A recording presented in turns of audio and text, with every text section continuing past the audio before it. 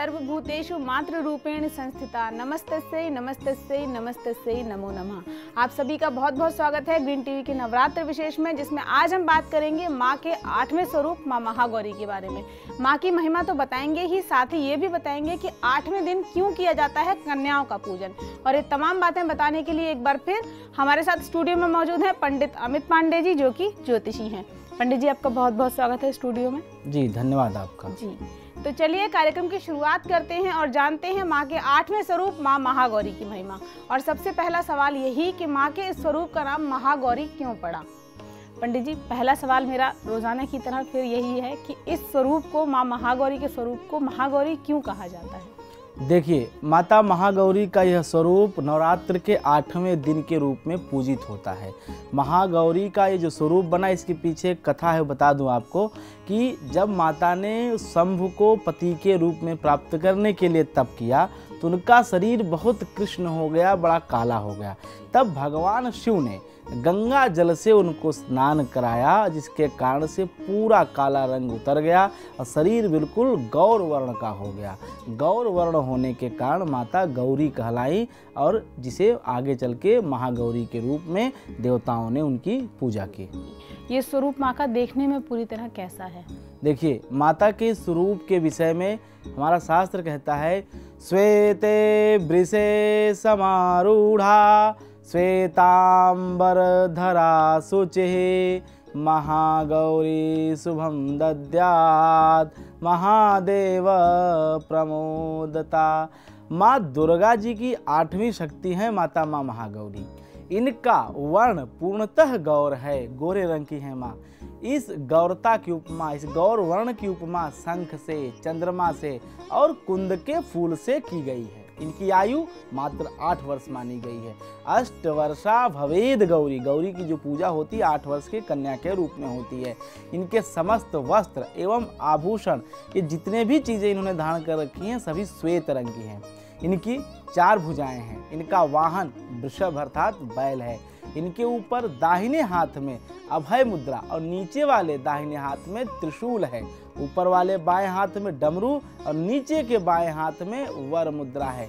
इनकी मुद्रा अत्यंत शांत है मतलब शांत, सात्विक प्रकृति की ये माता महागौरी देवी हैं। इनकी पूजा करने से शांति की प्राप्ति होती है, अभय की प्राप्ति होती है। सब प्रकार की मनोकामनाओं को पूर्ण करने वाली देवी माता महागौरी हैं। माता के इस स्वरूप का पूजन उसी तरीके से होता है जैसे बाकी के सात स्वरूपों की पूजा आपने बताई, या कुछ खास, कुछ अलग विधि से होती है माँ की पूजा?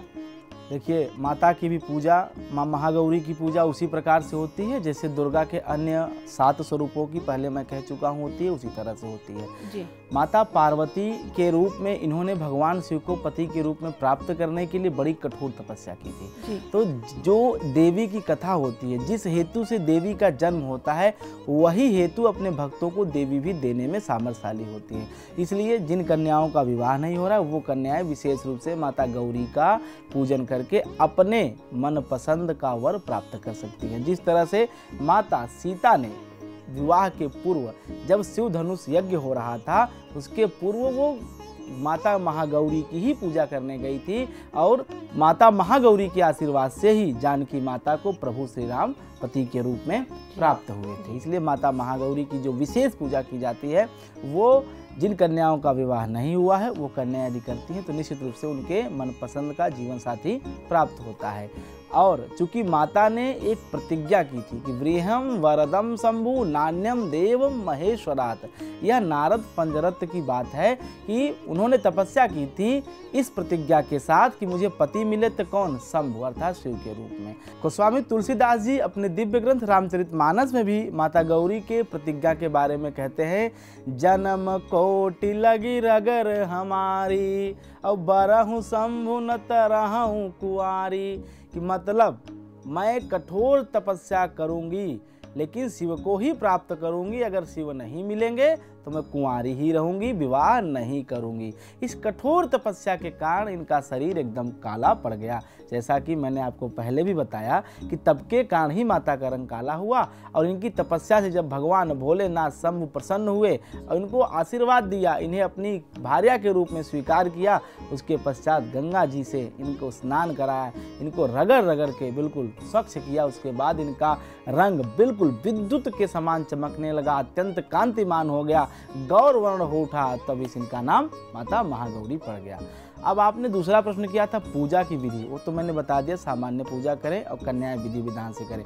एक बात मैं विशेष रूप से बताना चाहता हूँ अपने सभी दर्शकों को कि देखिए, जब आप माता महागौरी की पूजा करने जा रहे हैं पहली बात तो माता महागौरी की जो पूजा की वेला है, वह सायंकाल है और प्रातःकाल है। आप दोपहर के बेला में या मध्यरात्रि के बेला में इनकी पूजा ना करें।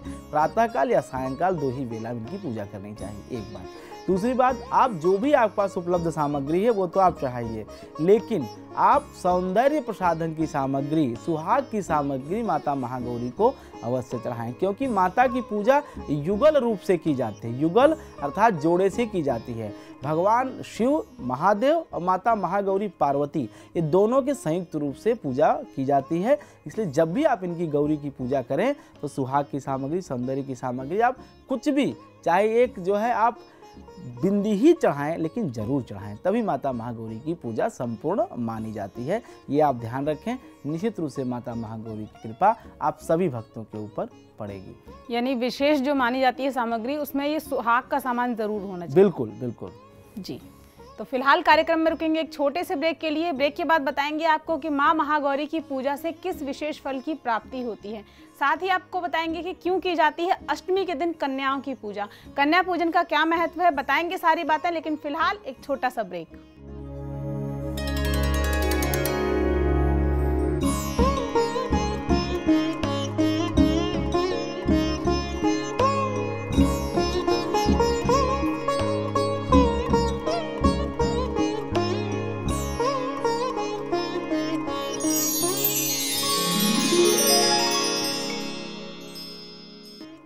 ब्रेक के बाद एक बार फिर स्वागत है आपका नवरात्र विशेष में, जिसमें आज हम बात कर रहे हैं माँ के आठवें स्वरूप, माँ महागौरी के बारे में।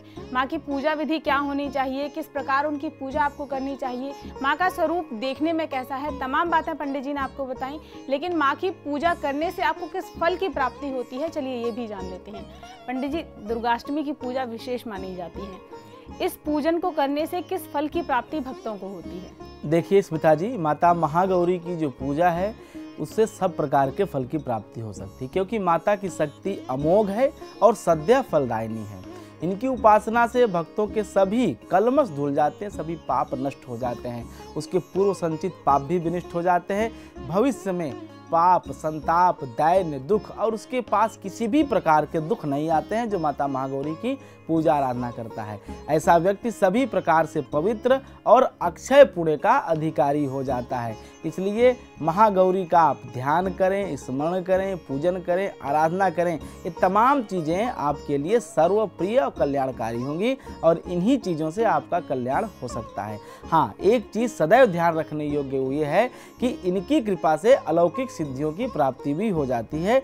इसलिए आपको यदि कोई विशेष कृपा कटाक्ष माता महागौरी के मिले तो उसको अनुभव करना चाहिए, न कि उसका अहंकार करना चाहिए। मन को अनन्य भाव से एक निष्ठ होकर के सदैव इनके पादार विंदों में अपना ध्यान लगाना चाहिए। ये भक्तों के कष्ट को अवश्य दूर करती हैं। इनकी उपासना से आर्त जनों को असंभव कार्य भी संभव हो जाते हैं। अतः इनके चरणों की शरण पाने के लिए हमें सर्वविधि प्रयत्न करना चाहिए। पुराणों में भी इनकी महिमा का प्रचुर आख्यान किया गया है। ये मनुष्य की वृत्तियों को सत्य को प्रेरित करके असत का विनाश करती है। मतलब सताचरण में माँ ले जाती है ऐसी बुद्धि अपने भक्तों को, अपने चाहने वालों को माता माँ महागौरी देती हैं। हमें प्रपत्ति भाव से सदैव इनके शरणागत बने रहना चाहिए। इसलिए माँ महागौरी की पूजा अष्टमी के दिन आप अवश्य करें। इनकी कृपा के पात्र बने और अपने जीवन को सफल बनाएँ। अभी ब्रेक पर जाने से पहले आपने बताया था कि जब माँ महागौरी की पूजा करें तो उनको पूजा सामग्री में जो अर्पण करें उसमें कोई ना कोई सुहाग की वस्तु ज़रूर होनी चाहिए। तो क्या कोई ऐसा फल भी प्राप्त होता है माँ की पूजा से कि अविवाहित कन्याएँ हैं, उनकी कुंडली में कोई दोष है, शादी नहीं हो रही तो माँ महागौरी की पूजा से वो दोष खत्म हो जाए या विवाह में आ रही अड़चने खत्म हो जाए, इस तरीके का कुछ होता है? देखिए स्मिता जी कई बार हमारे पास ऐसी कुंडलियाँ भी आती हैं, ऐसी कन्याओं की, कि जिनके विवाह में काफ़ी विलम्ब होता रहता है। छब्बीस, सत्ताईस, अट्ठाईस, तीस तीस वर्ष की लड़कियाँ हो जाती हैं लेकिन उनके योग्य वर उन्हें नहीं मिलता है। तो मैं ऐसे में सभी कन्याओं को एक उपाय ज़रूर बताता हूँ उपाय क्या होता है कि आप मंगलवार के दिन माता मंगला गौरी के दर्शन को जाएँ, मंगला गौरी को सुहाग की सामग्री चढ़ाएँ, लाल रंग के फूल चढ़ाएँ, दीपक जलाएँ, मिष्ठान आदि का भोग लगाएँ। ये उपाय मैं ज़रूर बताता हूँ समस्त कन्याओं को जिनकी कुंडली में विवाह प्रतिबंधक योग होता है। खास करके मंगल राहु हो, शनि मंगल हो, सप्तम भाव को पीड़ित कर रहे हो ऐसी अवस्था में। तो कहीं न कहीं विवाह के समस्त प्रकार की बाधाओं को दोष करने का समन यदि किसी शक्ति में है तो माता महागौरी में है। हाँ महागौरी के एक साथ उनके शब्द जुड़ जाता है, मंगला गौरी। मंगला गौरी मतलब मंगलवार के दिन पूजा प्राप्त करने वाली देवी, सब प्रकार के मंगल को देने वाली माता माँ महागौरी। इसलिए मंगल के दोष को दूर करने के लिए और उत्तम वैवाहिक जीवन के लिए मैं हमेशा अपने लोगों से कहता हूँ कि आप जो है माता मंगला गौरी का दर्शन करें, उनकी कृपा से। और आप यकीन जानिए, मैंने अपने इस ज्योतिष के करियर में अब तक जितने लोगों को ये उपाय बताए हैं, वो सारे उपाय सिद्ध हुए हैं, सफल हुए हैं। आज तक उनके दरबार से कोई खाली हाथ नहीं लौटा है। ज्योतिष के योग चाहे जो रहे हों, ग्रहों ने चाहे जो तांडव किया हो, कोई फ़र्क नहीं पड़ता। जी तो अविवाहित कन्याओं के लिए या विवाह में अड़चन आ रही है जिन कन्याओं की, उनके लिए भी माँ का आशीर्वाद बहुत ज़रूरी है। माँ महागौरी की अगर आप पूजा नवरात्रों में भक्ति भाव से करेंगी तो आपके विवाह में आ रही अड़चन ज़रूर खत्म होगी। पंडित जी, अब मेरा एक सवाल ये है कि अष्टमी के दिन कन्याओं का पूजन भी किया जाता है। कई जगह नवमी को होता है, लेकिन अष्टमी के दिन भी कन्याओं का पूजन किया जाता है। वो क्यों किया जाता है? देखिए, कन्या के पूजन का विधान है, चूँकि नौ दिन हम व्रत करते हैं तो दुर्गा के प्रत्यक्ष स्वरूप को पूजा करने के लिए हमें कन्याओं का पूजन करना चाहिए। विद्या समस्ता तव देव वेदा समस्ता सकला जगत्सु। इस संसार के समस्त विद्याओं में माता का वास है। इसके साथ साथ इस संसार में जितनी भी महिलाएँ हैं, जैसी भी स्त्रियाँ हैं, कन्याएँ हैं, ये समस्त देवी की ही स्वरूप है। ये माता स्वयं कहती हैं। स्त्रिया समस्ता सकला जगत्सु। मतलब संसार के समस्त स्त्रियों में कौन रहता है? माँ स्वयं विराजमान रहती है। इसीलिए कन्याओं के पूजन का विधान हमारे शास्त्र में है, नवरात्र के अष्टमी और नवमी के दिन। अष्टमी के दिन चूँकि महानिशा की रात्रि होती है, रात्र में जागरण किया जाता है और विशेष पूजा पाठ किया जाता है, इसे महानिशा कहा जाता है। काल रात्रि महारात्रि, मोहरात्रि दारुणा ये जो काल रात्रि का विधान आता है, ये महारात्रि का जो विधान आता है, चार रात्रियों में से एक रात्रि ये प्रमुख है नवरात्रि की रात्रि। ये महानिशा अष्टमी की ही रात को किया जाता है। इसीलिए इसी में कन्या पूजन भी किया जाता है। हाँ कुछ लोग अपने सुविधानुसार या व्रत के पूर्ण होने पे चूँकि कन्या पूजन करते हैं तो वो नवमी को भी कन्या पूजन कर सकते हैं। हवन के पहले या हवन के बाद इसमें कोई बहुत फ़र्क नहीं यानी ऐसा नहीं है कि अष्टमी को पूजन किया और आपने फिर अपना व्रत खत्म कर लिया और अष्टमी को भोजन कर लिया अगर आप नौ दिन का नहीं, व्रत नहीं, ऐसा नहीं। व्रत का संकल्प आपने नौ दिन का किया है तो नौ दिन आप व्रत करिए उसके बाद। अष्टमी को कन्या पूजन कर सकते हैं लेकिन खाना आप नौवे दिन के हाँ, बाद बिल्कुल बिल्कुल। व्रत का पूर्ण होने के बाद ही अन्न का आप ग्रहण करेंगे अब यहाँ बात आती है कन्याओं के पूजन से क्या फल मिलता है? देखिए, हमारे शास्त्र में बहुत नियम दिए हैं। अगर आप नियमों को ध्यान से पढ़िए तो आपका काम निश्चित होगा। जिस अभिष्ट की कामना है, वो अभिष्ट आपका ज़रूर पूर्ण होगा। जैसे, यदि आप एक वर्ष की कन्या का पूजन करना चाहते हैं तो ना करें। क्यों ना करें?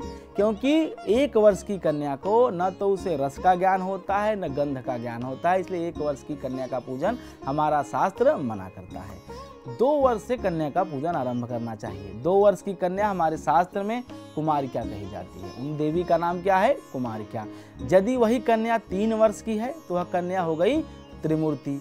चार वर्ष की कन्या हो गई कल्याणी और पाँच वर्ष की कन्या रोहिणी कहलाती है। तथा छह वर्ष की कन्या कालिका कहलाती है। और यदि कन्या की आयु सात वर्ष पूर्ण हो चुकी है तो वह चंडिका कहलाती है। आठ वर्ष की कन्या सांभवी कहलाती है और नौ वर्ष की कन्या साक्षात दुर्गा का स्वरूप होती है। दस वर्ष की कन्या सुभद्रा कही जाती है और दस वर्ष के ऊपर की कन्याओं का पूजन नहीं करना चाहिए। दस वर्ष तक की कन्याओं का पूजन करना चाहिए। किस आयु वर्ग की कन्या को पूजन करने से किस फल की प्राप्ति होती वो बता देता हूँ। जैसे दो वर्ष की कन्या कुमारी नाम की कन्या का पूजन करने से दुख, दरिद्रता का नाश होता है। शत्रु अपना हार मान लेते हैं तथा आयु और धन, बल, ये तीन चीज़ें व्यक्ति की बढ़ जाती हैं। तीन वर्ष की कन्या मतलब त्रिमूर्ति नाम की कन्या का पूजन करने से धर्म, अर्थ और काम की पूर्ति होती है, तीन चीज़ों की, धर्म, अर्थ, काम। और धन धान्य का भी घर में आगमन होता है, संतान सुख की भी प्राप्ति होती है, त्रिमूर्ति नाम की कन्या का पूजन करने से।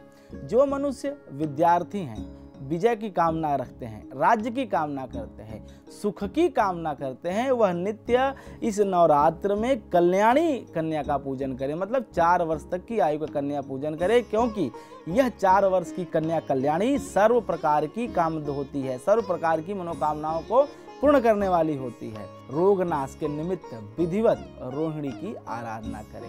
शत्रु पीड़ा से मुक्ति के लिए भक्ति पूर्वक कालिका का पूजन करना चाहिए। यदि धन चाहिए, ऐश्वर्य प्राप्ति की अभिलाषा हो तो चंडिका नाम की कन्या की अर्चना करें, आराधना करें। सम्मोहन, दुख दारिद्र नाश तथा न्यायालय में विजय हेतु सांभवी नाम की कन्या का आप पूजन करें। किसी विशेष कार्य की सिद्धि हेतु परलोक में सुख पाने के लिए नौ वर्ष की दुर्गा नाम की कन्या का आप आराधना करें। अपनी आकांक्षाएँ पूर्ण करने के लिए सुभद्रा की पूजा करें। इन देवियों की कन्याओं का पूजन करने से आपको निश्चित रूप से सब प्रकार की मनोकामनाओं की पूर्ति होगी और जिस मनोकामना से आप पूजन कर रहे हैं, वह ज़रूर पूर्ण होगा। जी। तो फ़िलहाल कार्यक्रम में यहाँ रुकते हैं एक छोटे से ब्रेक के लिए और ब्रेक से लौटेंगे तो बताएँगे आपको कि कैसे करें अष्टमी के दिन कन्या पूजन। साथ ही ये भी बताएँगे कि राशि अनुसार आप कन्याओं को क्या दान कर सकते हैं। बने रहिए ग्रीन टीवी के साथ, मिलते हैं एक छोटे से ब्रेक के बाद।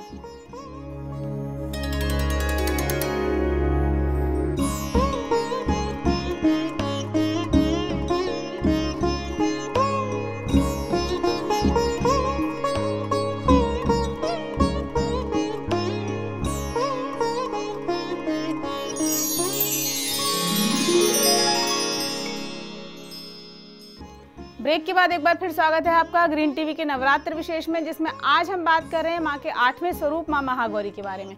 पंडित जी ने आपको बताया कि क्यों की जाती है अष्टमी के दिन कन्याओं की पूजा। लेकिन कन्या पूजन की क्या विशेष विधि होनी चाहिए, वो भी पंडित जी से जान लेते हैं और राशि अनुसार आप कन्याओं को क्या दे सकते हैं अष्टमी के दिन, ये भी जान लेते हैं। पंडित जी, हमारे दर्शकों को बताएँ कि कन्या पूजन की क्या विधि होगी, साथ ही राशि अनुसार वो क्या दे सकते हैं कन्याओं को, ये भी बताएँ। जी। आपके घर में जब कन्याएँ आ जाएँ तो सर्वप्रथम उन कन्याओं का आप चरण धोइए। उसके पश्चात साफ़ कपड़े से उनके पैरों को पोछिए और उन्हें दिव्य आसन पर बैठाइए। बैठाने के बाद उनके मस्तक पर तिलक लगाइए। तिलक के साथ साथ थोड़ा सा अक्षत लगाइए और उन्हें आप हो सके तो एक माला भी पहना दीजिए। उसके पश्चात आपके किचन में, आपके रसोई में जो भी बना हुआ है, श्रद्धापूर्वक आप उन समस्त कन्याओं को खिलाइए। खिलाने के पश्चात उन्हें कुछ द्रव्य दक्षिणा स्वरूप में दीजिए।